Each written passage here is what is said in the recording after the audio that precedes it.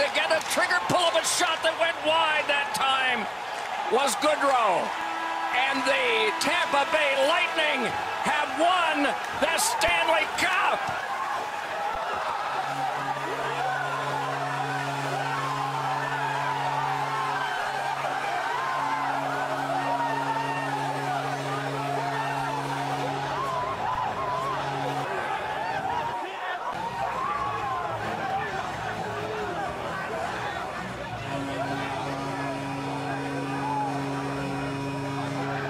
Concluding a two-month period of tremendous competition. Unity among all the players, both on and away from the bubble rinks. Game 130, day 59. One team will get their names on the trophy. The other disappointed. But deep in the heart of Texas, what a gallant performance by the team in green. And Jon Cooper has now won at every level that he has coached.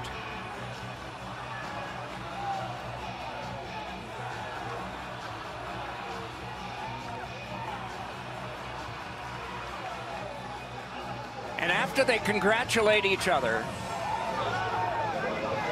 and get over the glorious shock of having won, they realize that there is another noble tradition of all of this. And that is the handshakes. And patiently waiting at the other end for that are the Dallas Stars. And you saw Steven Stamkos, who only got to play a little bit in one game, the captain of the team, but said after that game, I have a great feeling about all of this. And now the line forms for this great noble tradition of handshakes.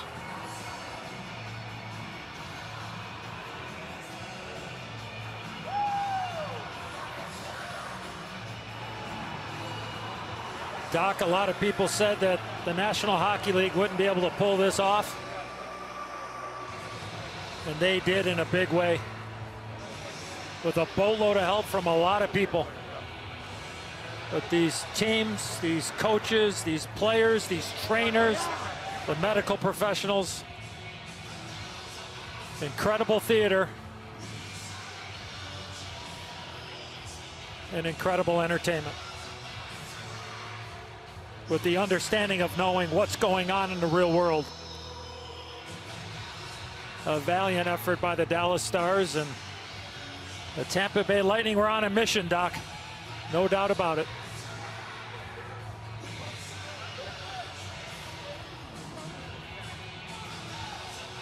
Many of us remember when Team USA defeated Team Russia at the Olympics. Well, after that, Russia won the World Championships, and there are two of the goalies from that team. They both wound up getting cars from the uh, leader of the Russian Federation as their reward. This will be a different kind of reward for Vasilevskiy this time, and he is congratulated by Rick Bowness, who was an assistant coach in Tampa Bay when Vasilevskiy first came in and got to see a little time in 2015. So he knows so many of these players from his five years as an associate and an assistant coach there.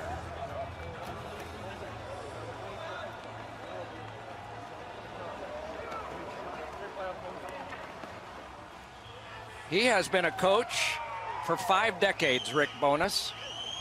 And there just aren't very many that don't like this guy, and I think you can see it displayed on his face.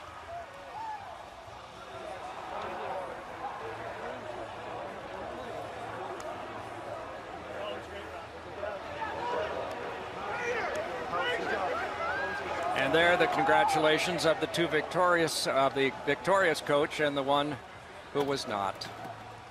Trophy in all of sports, the most historic, the most coveted.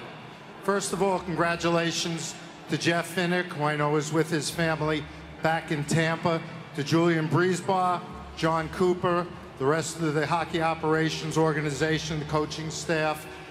I know everybody here misses your families back in Tampa and you can't wait to see them. And we miss having our fans in the building. We have the greatest fans in the world. Our game gets incredible energy from you, and we can't wait to have you back. Tampa has asked, under the circumstances, to do it a little bit different this year. So before I formally present the Stanley Cup, I'd like to invite you all up here to surround the cup, and then I'll make the official presentation.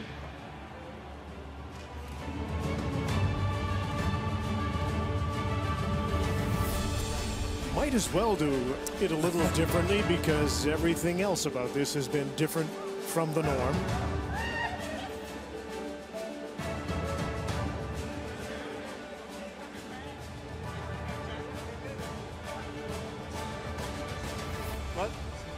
No, no, no. Not yet. Okay. One second. we'll do it. Uh, there's no harder championship to win. The, the gauntlet that you have to run to hoist this trophy is unbelievable, and never more unbelievable than this year. These guys have been away from home for more than two months. This has been the ultimate team effort. This Stanley Cup run will go down in the record books as perhaps the hardest run of all times. You guys should all be incredibly proud. This has been an amazing accomplishment. It is my honor to present the Stanley Cup to Steven Stamkos.